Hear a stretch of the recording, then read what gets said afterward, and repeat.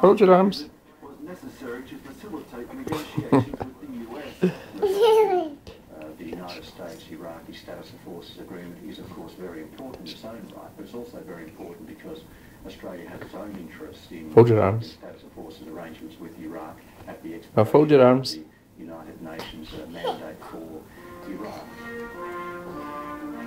Fulfilling an election promise, the government has withdrawn Australia's 550-strong combat force from southern Iraq, leaving behind a thousand troops in support and training roles.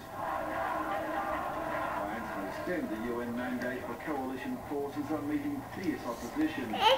Supporters of the radical Shiite cleric Muqtada al-Sadr demonstrated again yesterday, demanding the immediate withdrawal of US forces. The draft accord that would allow them to stay for three years is also meeting resistance in the National Security Council, which failed to approve it last night amid fears that without major concessions, it will be rejected by the Parliament.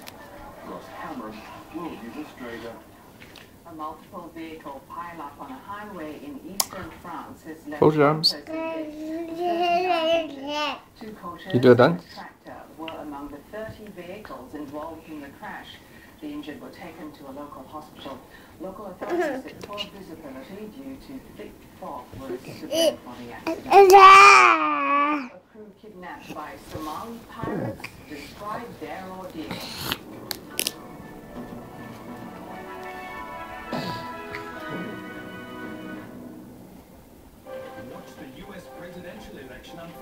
On SBS with fascinating election specials, extended coverage on election day, and full coverage online. Greed is right. Greed works. What role has greed played in the global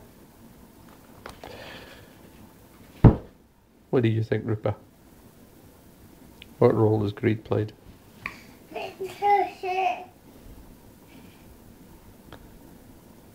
Are you tired now?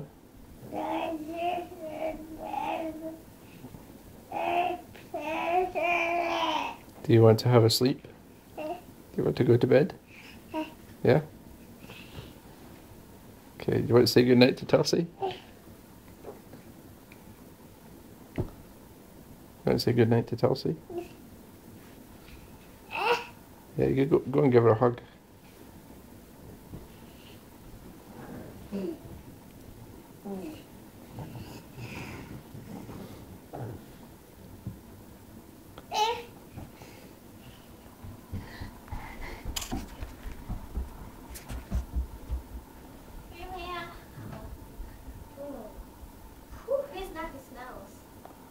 Yeah.